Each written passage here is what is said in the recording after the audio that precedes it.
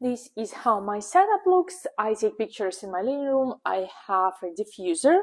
I have my cake. I have a background, my cloth, and I use a piece of foam board, something like this, like white and shiny, to use a reflector.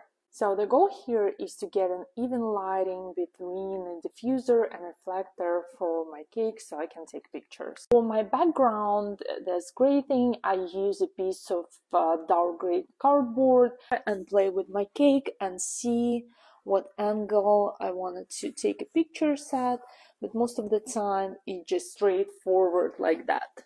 For my camera, it's always on a tripod like this, and I shoot vertical because most of the time I use it for my social media. This is a very basic Canon M50 and I will link it, but most important settings if you're using your kit lens is to put it on 45 instead of 15 on 45 and put it as far from your cake as possible. So for my settings, I set 1 by 125 shutter speed, my ISO usually between 100 and 200, and exposure, it depends, usually it's just 0 or 1.3. I prefer to underexpose my pictures. And one of the most important things is my camera is set on timer, so when I press the button,